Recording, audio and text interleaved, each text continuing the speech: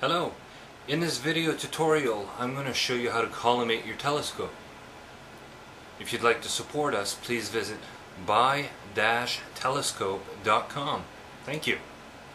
To collimate your telescope, we're going to use a small tool.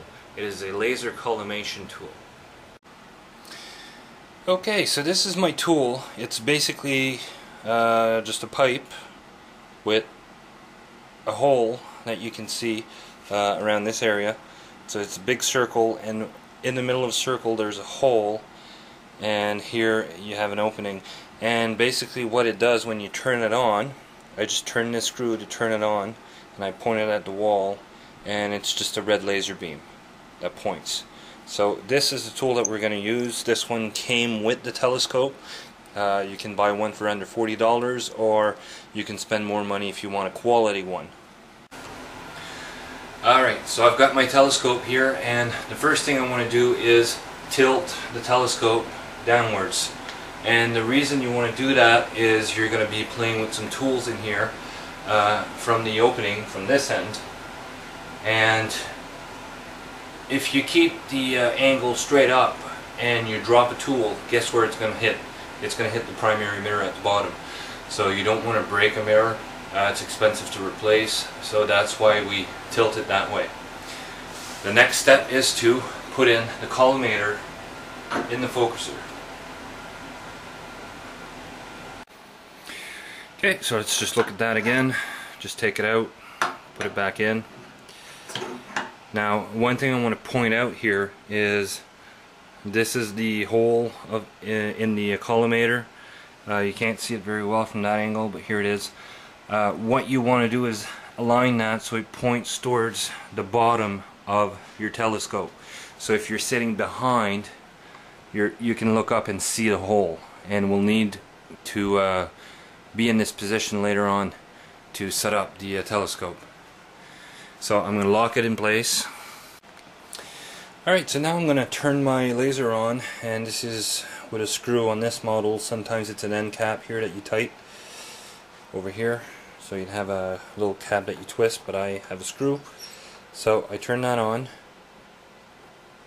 And down here you can see a faint glow, so that means it's on. Now, what you don't want to do is go at the end of the telescope and stick your head down there and look in because you need to be aware of where your your laser is pointing currently. The idea is that it starts from uh, the focuser and it hits the secondary mirror at a 45 degree angle and then bounces down the tube all the way to the end where it hits the primary mirror. If your telescope is aligned, it would bounce back up, hit the secondary mirror again, and then bounce back uh, where it started. And that's what we want to do. That's how we want to adjust it. But it may not be that way now. So the first thing I'm going to do as a precaution is just wave my hand in front. And there you go. You can see uh, the laser clearly hitting my hand. That means things are completely out of line. What's happening here is um, it starts from here. It hits the, the secondary mirror, goes down the tube, hits the primary mirror, goes back up, but completely misses the um, secondary mirror, and that's why I can see it on my hand here. So now that I know where it's coming out from, uh, you know, if I look in, uh, basically I want to make sure I don't stick my eye in that spot. And this is a process that you can do uh, at different points as you adjust your mirrors, just as a precaution always know where your laser is pointing. Now, we're going to have a look inside the tube here. Okay, so what we're seeing here is a view of when you look into the telescope. So this is the end that would point towards the sky and what you have here is three screws. These are the adjustment screws for your secondary mirror. So by turning these screws in one direction or another, what it does is it tilts the mirror uh, a certain way and that's what we're going to do to set it up. Now you would use a screwdriver for this procedure. I'm just going to use my hands for the purpose of the video.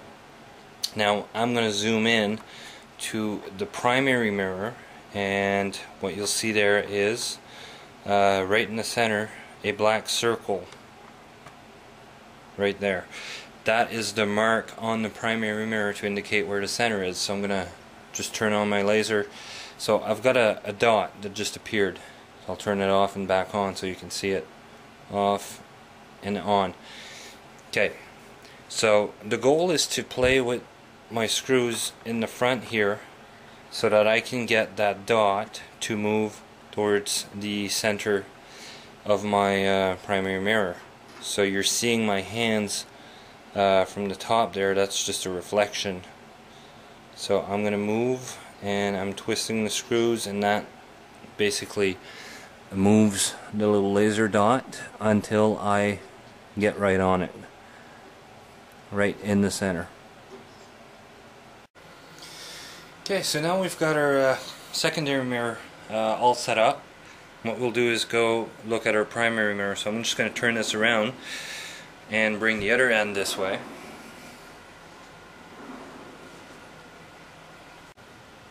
Alright, this is what the end of my telescope looks like.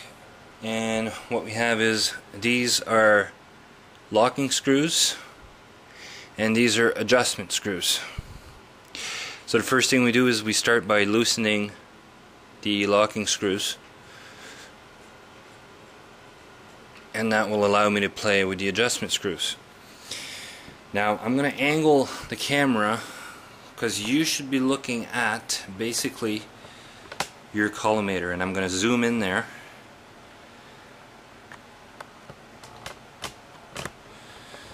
okay so you can actually see the laser over here and the hole is right in the center. What I need to do is adjust my knobs so that I make the laser move. So now it's going up. And right there, it's dead in the center, right in the hole. And that's where I want it. And once I have that in place, I can retighten my locking screws and that's gonna have a bit of a influence on the mirror because you, you see it moving a bit. So what you have to do is do uh, not one at a time but do tighten them up just a little bit and go to the next one and, and do them all together. And that will keep your uh, laser aligned. Alright and that's all there is to it. So that's the procedure. It's very simple